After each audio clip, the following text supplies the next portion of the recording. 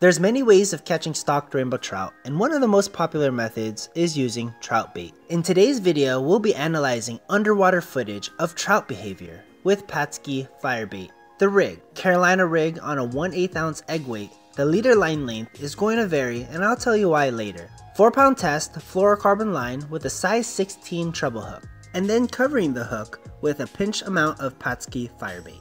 I live in beautiful San Diego, California, where most lakes are being stocked with rainbow trout. These trout are usually lethargic and schooled up near shoreline during the first couple days to the first week of their stocking date. During this time frame, they like to cruise around the lake in search of food, forage.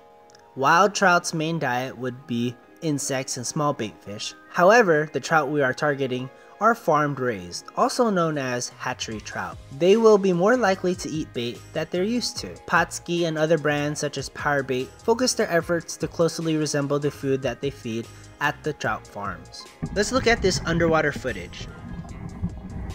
In this footage, you can see trout cruising around the shoreline in about 7 feet of water. My GoPro at the time was only 5 feet away from the shore.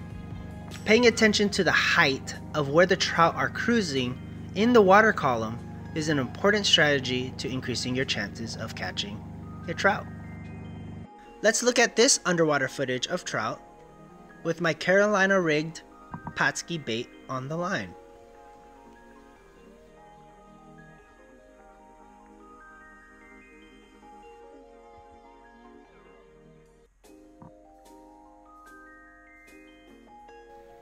As you notice, the cruising trout did not even bother checking out the bait, which is only a few inches away from where they are cruising.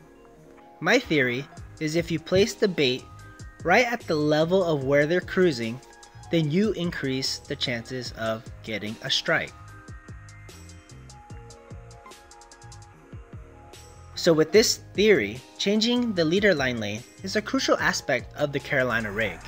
In this particular footage, I was able to place the Pautzke bait right in the path of where the cruising trout were. Let's see the difference.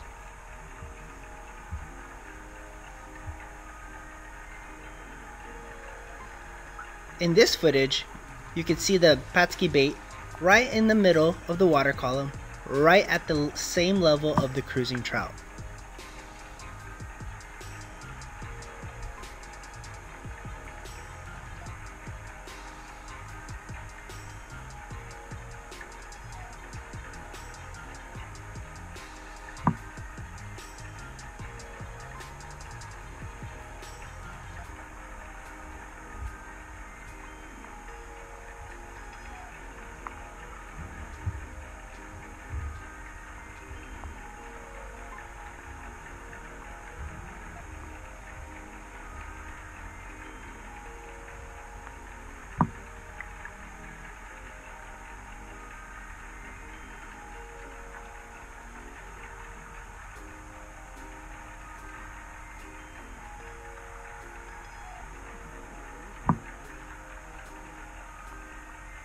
This particular trout was really interested.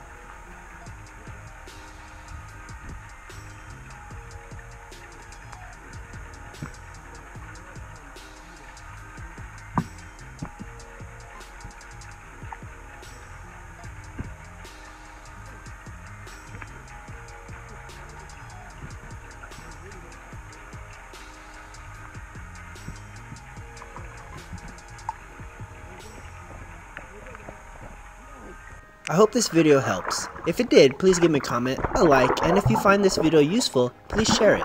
My name is Rodney Marquez, and I love the sport of fishing. I make these videos for fun, intended for the younger generation fishermen.